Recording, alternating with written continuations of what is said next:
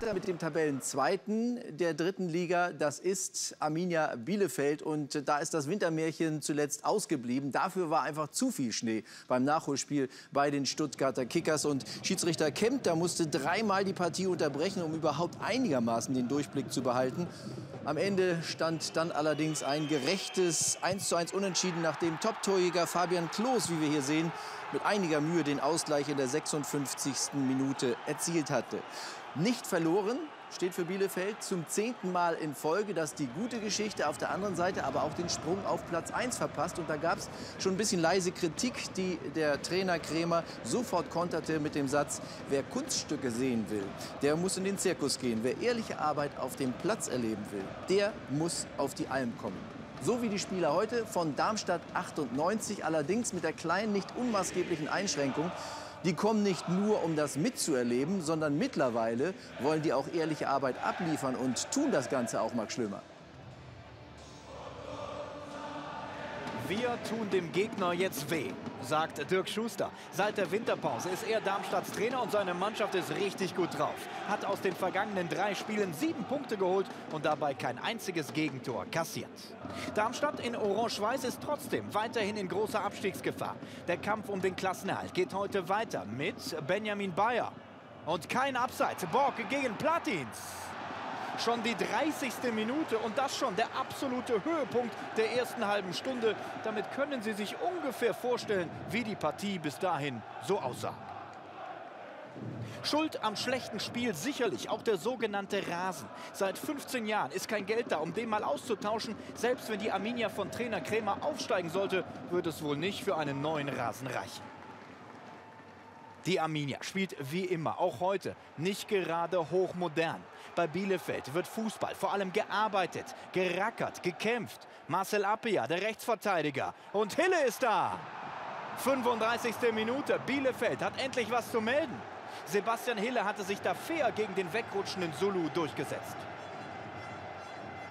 Noch kein Unterschied zwischen Aufstiegs- und Abstiegskandidaten zu erkennen. Bielefeld tut sich schwer. Nur hohe Bälle helfen bisher. Hille ist wieder da. Und Christian Müller probiert's mal. Aber das war's dann auch schon mit der ersten Hälfte. Pfiffe für Bielefeld. Alles nach Plan, dagegen bei Dirk Schuster. Unter ihm, dem ehemaligen Verteidiger, hat Darmstadt das Verteidigen gelernt. Und die Gäste auch nach der Pause immer dicht dran und manchmal knallhart. Zulu haut gegen Hille den Ellbogen raus. Zulu bekommt dafür aber nicht einmal die gelbe Karte, die er dafür mindestens hätte sehen müssen. Sebastian Hille mit anschließender Kieferkontrolle, alle Zähne glücklicherweise noch drin. Keine Mannschaft hat auswärts weniger Punkte geholt als Darmstadt. Aber heute die Gäste nicht schüchtern, sondern frech. Danny Latza, Latza gegen Platins. Platins und Bock kommt. Was für ein Ding von und für Freddy Bock. Das Geschenk von Platins nicht ausgepackt. Seit Oktober hat kein Darmstädter Stürmer mehr ein Tor erzielt. Heute ist Borg der einzige Angreifer seiner Mannschaft, strahlt dabei aber so viel Torgefahr aus wie die Anzeigentafel. Freddy Borg, überrascht, überhastet, überaus peinlich. Darmstadt bleibt insgesamt einen Tick besser. Freistoß, Benjamin Bayer. Und Platins, Platins. Schnell noch weggewischt vor Danny Latza. 75. Minute. Na also, Patrick Platin zeigt, dass er kein schlechter ist.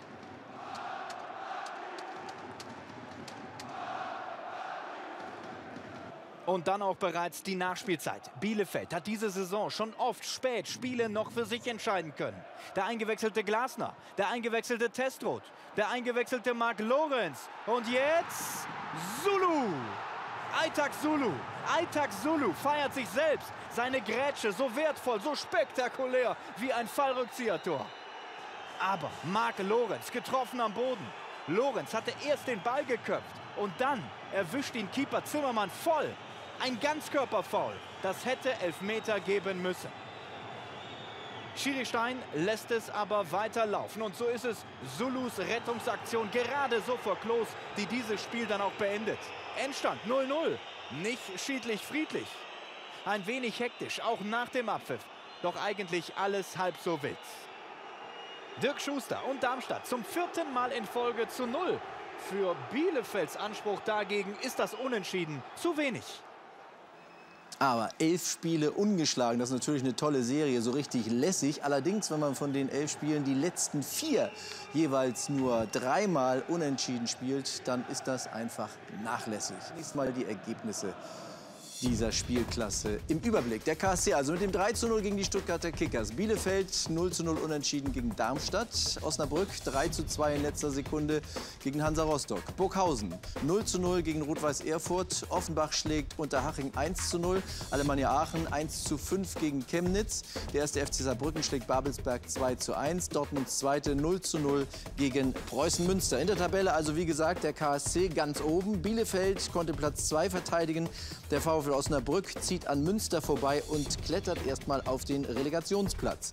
Zweite Tabellenhälfte. Rostock, nur eins der letzten 14 Spiele hat Hansa gewonnen.